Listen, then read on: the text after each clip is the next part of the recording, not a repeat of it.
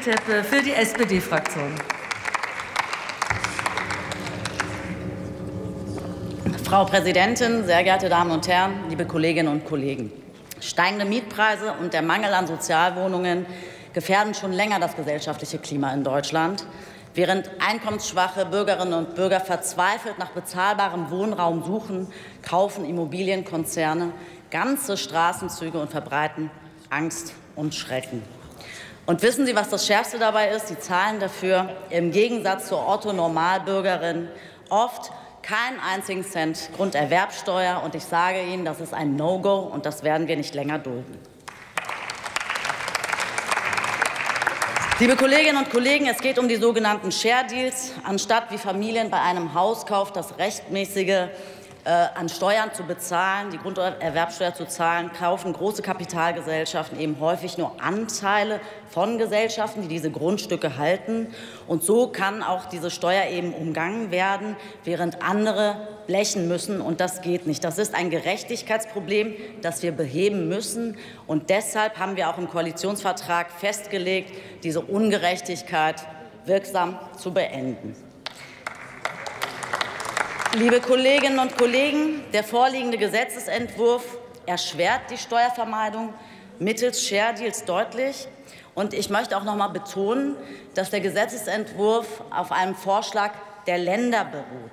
16 zu 0 haben die Länder vorgeschlagen, was wir jetzt hier auf Bundesebene übernehmen.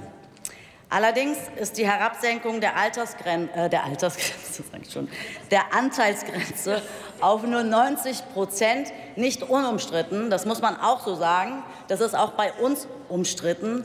Und meine Fraktion wird sich in der parlamentarischen Beratung für eine deutlich wirksamere und effizientere Regelung einsetzen. Da können Sie sich sicher sein.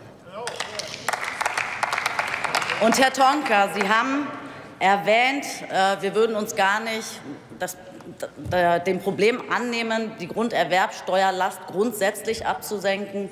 Da frage ich mich, warum die Regierung in Nordrhein-Westfalen, Sie wissen ja, die Absenkung ist eine Ländersache, seit zwei Jahren das nicht umsetzt und die Grunderwerbsteuer den Satz dort absenkt, um alle Menschen zu entlasten. Liebe Kolleginnen und Kollegen, aus den Share Deals konnte schon viel zu lange Profit geschlagen werden. Mittlerweile wird von diesem Konzept nicht nur beim Kauf größerer Immobilienportfolios Gebrauch gemacht, sondern auch zunehmend kleinere Transaktionen sind zu beobachten.